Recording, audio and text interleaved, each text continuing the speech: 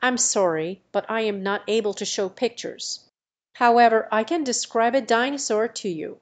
Dinosaurs were a group of reptiles that lived millions of years ago. They came in many different shapes and sizes. Some had long necks and tails, while others were much smaller and walked on two legs. They lived on land and some were herbivores, ate plants, while others were carnivores, ate meat. Dinosaurs were incredible creatures that have fascinated scientists and people all around the world.